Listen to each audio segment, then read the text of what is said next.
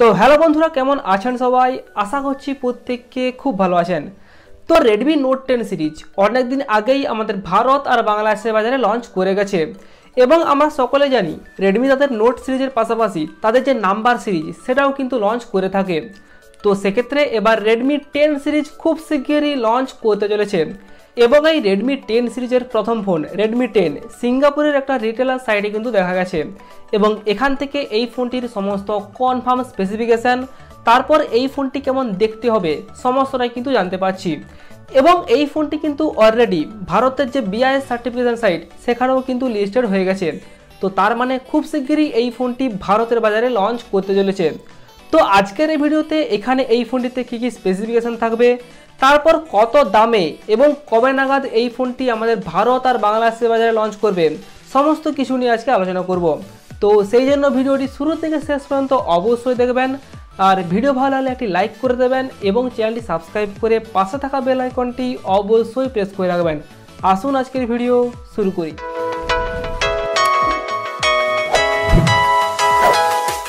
তো প্রথমে যদি আমরা এই ফোনটির ডিসপ্লে নিয়ে কথা বলি, তাহলে এখানে আগের মতোই ওই সিক্স পয়েন্ট ফাইভ ইঞ্চের একটি full HD plus IPS LC display এখানে কিন্তু ব্যবহার করা হবে।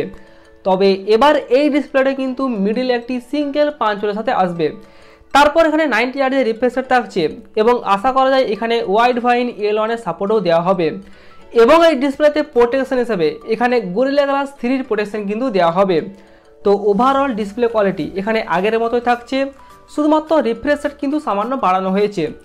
তো এরপর যদি আমরা এই ফোনটির ডিজাইন আর বিল কোয়ালিটি নিয়ে কথা বলি, তাহলে রেডমি নাম্বার সিরিজের ফোনগুলোতে আমরা মূলত প্রতিবারেই ব্যাক সাইডে ওই পলিকার্বনেটাই পেয়ে থাকি। তো সেক্ষেত্রে এবারও এখানে এই ফোনটির ব্যাক সাইডে প্লাস্টিকের থাকবে এবং সাইডের যে ফ্রেমটি হবে সেটা কিন্তু প্লাস্টিকেরই থাকবে। আর ডিজাইন নিয়ে যদি কথা বলি, তাহলে এখানে এই ফোনটির যে ব্যাক সাইডের ডিজাইন সেটা কিছুটা Redmi Note ten Pro five G এই ফোনটির মতো দেখতে লাগছে। তো দেখতে কিন্তু খুবই আকর্ষণীয় লাগছে। এখানে ব্যাক সাইডে ওই স্কোয়ার শেপের কোয়াড ক্যামেরা সেট দেওয়া হয়েছে এবং এই ফোনটি কিন্তু তিন তিনটি আকর্ষণীয় কালার ভেরিয়েন্টে লঞ্চ করবে। তো এরপর যদি আমরা এই ফোনটির পারফরম্যান্স নিয়ে কথা বলি, তাহলে এখানে এই ফোনটিতে মিডিয়াটেকের জি এইটটি এইট এই প্রসেসরটি ব্যবহার করা হবে। এবং এই প্রসেসরটিও কিন্তু বারো ন্যানোমিটারের তৈরি। এবং এই প্রসেসরটি মূলত মিডিয়াটেকের জি সিরিজের অন্তর্গত একটি নতুন ফোর জি প্রসেসর এবং আগের যে মিডিয়াটেকের জি এইটটি ফাইভ এই প্রসেসরটিকেই সামান্য ক্লক স্পিড বাড়িয়ে এই নতুন প্রসেসরটি লঞ্চ করা হয়েছে। তো এখানে ওভারঅল পারফরম্যান্স মিডিয়াটেকের জি এইটটি ফাইভের মতোই পাওয়া যাবে এবং এখানে গেমিং মাল্টিটাস্কিং বাজেট অনুযায়ী এখানে কিন্তু মোটামুটি ভালোভাবে করা যাবে। তারপর এখানে ডে টু ডে লাইফের নর্মাল ইউসেজের ক্ষেত্রে খুব একটা অসুবিধাও কিন্তু হবে না।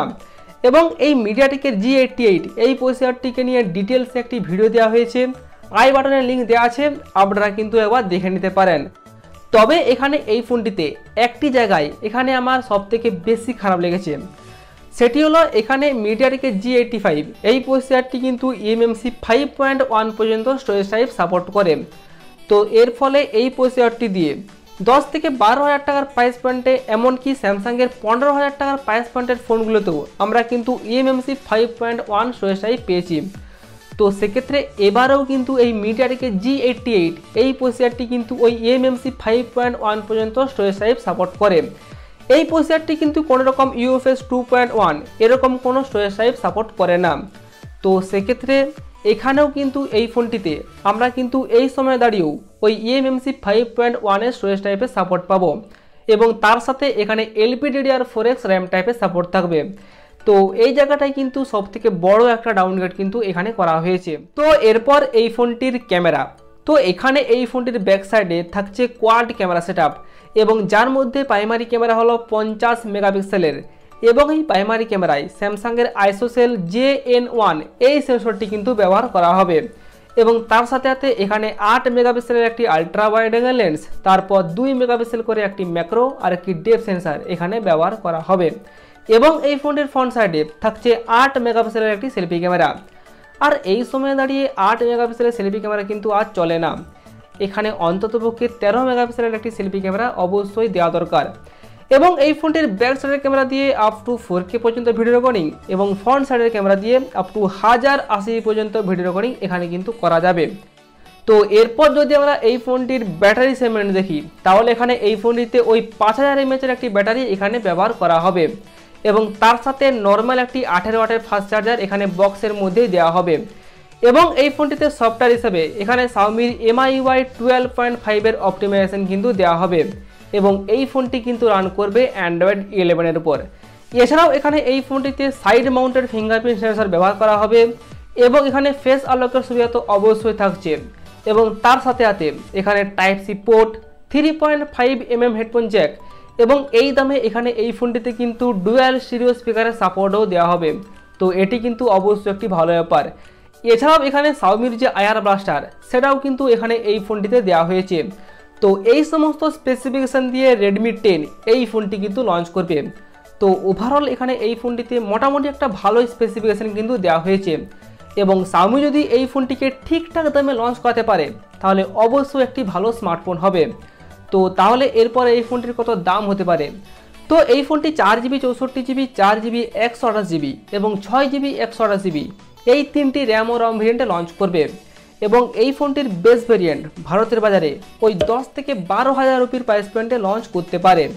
এবং বাংলাদেশের বাজারে গেলে ওটি প্রায় ষোলো থেকে সতেরো হাজার টাকার প্রাইস পয়েন্টে কিন্তু পাওয়া যাবে। আর এই দামে যদি এই ফোনটি লঞ্চ করে, তাহলে ঠিকঠাক একটা প্রাইস পয়েন্ট কিন্তু বলা চলে। তো তাহলে এরপর এই ফোনটি কবে নাগাদ লঞ্চ করতে পারে? তো আগস্ট মাসের শেষের দিকে এই ফোনটি কিন্তু ভারতের বাজারে লঞ্চ করতে পারে। এবং যদি লঞ্চ না করে, তাহলে সেপ্টেম্বর মাসের প্রথমেই এই ফোনটি ভারতের বাজারে লঞ্চ করবে। এবং আশা করা হচ্ছে সেপ্টেম্বর মাসেই এই ফোনটি বাংলাদেশের বাজারেও কিন্তু অফিসিয়ালভাবে লঞ্চ করবে। তো এরপর দেখা যাক সাউমি কোন প্রাইস পয়েন্টে কবে নাগাদ এই ফোনটি আমাদের ভারত আর বাংলাদেশের বাজারে লঞ্চ করে। তো এই ফোনটি সম্পর্কে আপনাদের কি মতামত, সেটি অবশ্যই কমেন্ট করে জানিয়ে দেবেন। তো এই ছিল আজকের ভিডিও। আর ভিডিও যদি ভালো লেগে থাকে, তাহলে একটি লাইক করে দেবেন। এবং চ্যানেলটি সাবস্ক্রাইব করে পাশে থাকা বেল আইকনটি অবশ্যই প্রেস করে রাখবেন। আসুন আজকের মতো এই পর্যন্তই। দেখা হচ্ছে পরের ভিডিওতে।